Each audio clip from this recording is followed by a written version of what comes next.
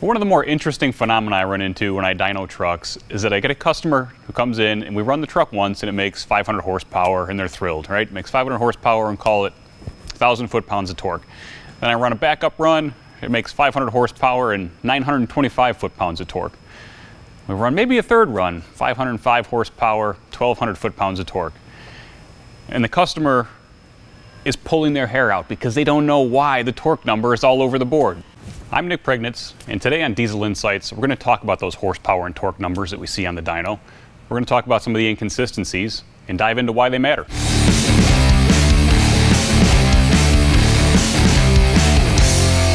First, as a frame of reference, I'm going to draw a gas dyno curve. And the reason I want to do that is because most of you guys come from the gas tuning world or the gas performance world, and you know you know horsepower, you know torque, and you know usually 500 horsepower car naturally aspirated makes about 500 foot-pounds of torque.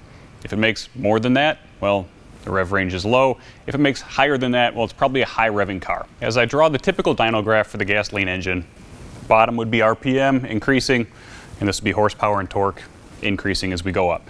So the torque curve, usually going to peak somewhere in the 35, 3600 range, a little bit below that, peaking and then falling off as the engine falls out of its efficiency range in the higher revs depending on head, head flow, etc. But your torque curve for gasoline engines relatively flat if the engine's good breathing. A flat torque curve gives us a horsepower curve that looks like this. Okay, this would be 5252 where they cross. I'm sure you've read five Wikipedia articles on the calculation for horsepower and torque, so I won't bore you with that. But the, uh, the horsepower curve looks something like this. So at low RPM, this is your available power. So you go 10% on the throttle, you get this much. You go 100% on the throttle, you get this much. Maybe this is 100 horsepower available. However, up here at 5,000 RPM, you got 500 horsepower available. So if you floor a gasoline car at 1200 RPM, nothing happens. Maybe you get a downshift. But if it's a stick shift car, you get a slow, even pull, and then as the car comes up in the revs, you feel the power. Okay. On a diesel engine, it's different. The shape of the torque curve on a diesel engine is much, much different. So let's look at that. On a diesel, the shape of the horsepower curve is almost flat.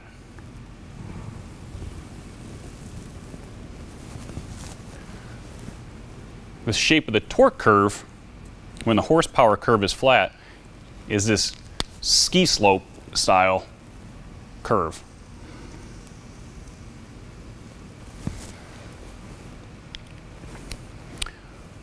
Why is that interesting? Well, a diesel engine has an awesome ability to lug. And the reason it has that ability to lug is because you have horsepower available at very low RPM. So as you flat foot the throttle at say 1200 RPM down here, or 1500 RPM, whatever this is, you have 430 horsepower available. Okay, that's amazing. But that 430 horsepower comes with a price, and that price is torque.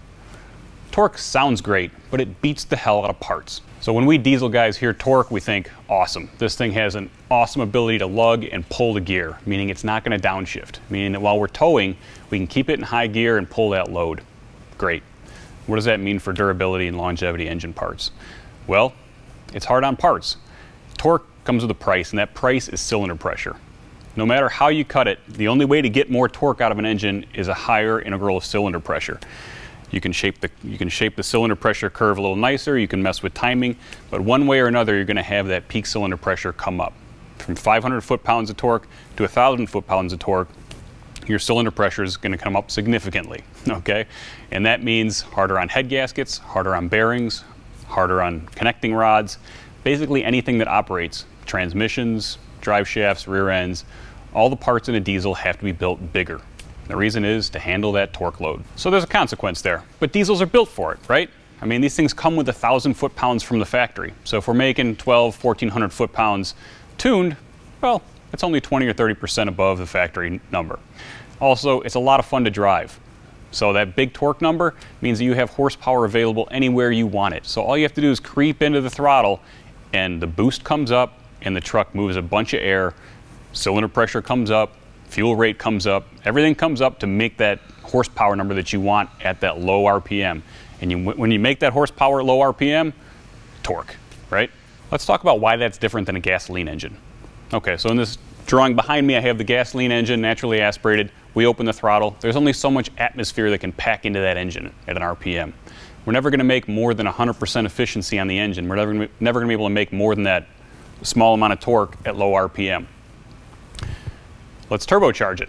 Okay, we use the same technology the diesel guys use. So add a turbocharger to your gasoline engine. Can we now compete with the diesel? No. Two words, combustion stability. If you start adding big boost to gasoline engines at low RPM, you start running into combustion stability issues. And what that means is you can't control the combustion process.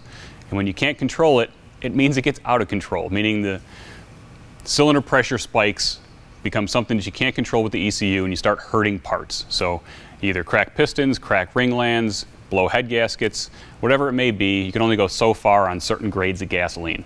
So as you go from 87 to 89 to 93 up to E85, now you can start to really control combustion. You can start to really make big torque on a gasoline engine. Great, but not everybody's running E85, right? So the diesel has a distinct advantage in making torque because it's not at the mercy of combustion stability like a gasoline engine is. We are injecting fuel at the peak or near the peak of top dead center, meaning we can control combustion stability by the pressure and the rate at which we inject fuel. Okay, so what does this mean on the dyno?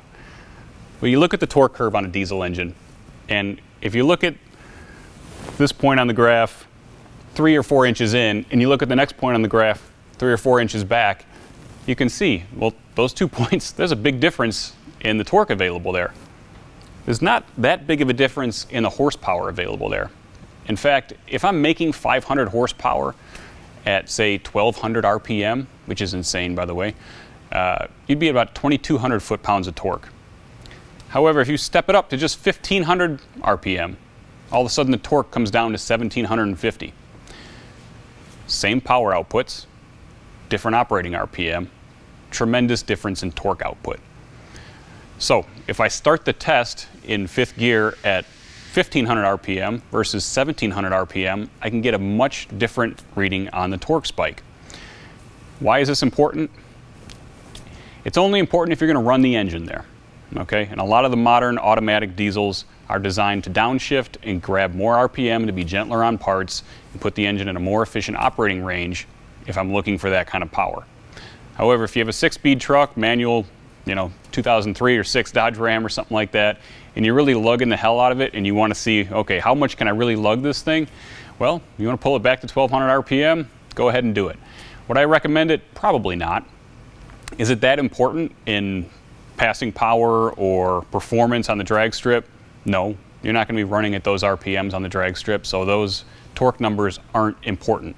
Uh, the, the power you're going to be making from 3100 RPM down to your gear shift down to 2400 RPM is much more critical than those big torque spikes down low in the rev range. Our goal with custom tuning isn't to go whale hunting and get you the biggest torque number you can possibly get. We want to understand where you're using the truck, what that operating range looks like. So as it shifts, you know, where is the operating range that's most useful to you? And we're going to fatten up the torque curve in that usable operating range. I'm not going to pay attention to torque way below 1500 RPM or 1200 RPM in a truck that uses the automatic transmission to avoid that operating range. I want to focus on the stuff that's most important to you, make the truck durable, make it efficient where you are using it, give you a nice, fat, fun, drivable torque curve. So the next time you go to the dyno and someone's running your truck in manual and they give you a torque spike of 1,000 foot-pounds and then the next run it's 1,200 foot-pounds, take a look at the dyno sheet and see where the test started. Right? Odds are that the test started at much lower RPM the second time, and that's why the truck ran that torque spike like it did. I'm Nick Priegnitz, this is Diesel Insights. Thanks for watching. Subscribe, and we'll catch you next time.